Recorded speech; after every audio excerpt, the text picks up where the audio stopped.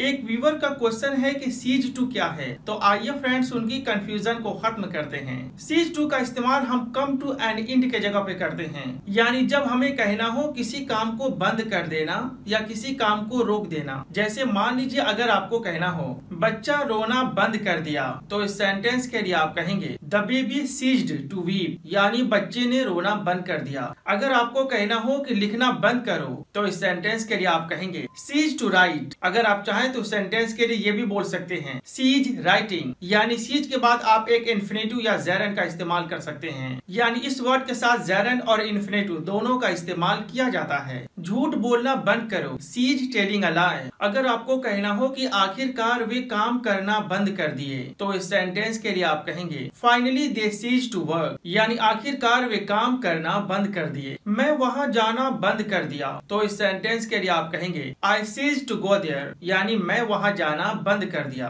अगर आपको कहना हो, उसे मदद करना बंद मत करना। तो इस सेंटेंस के लिए आप कहेंगे don't cease to help him यानी उसकी मदद करना बंद मत करना। तो फ्रेंड्स उम्मीद करता हूँ कि आपने ये बात समझा कि सीज का मतलब होता है बंद कर देना।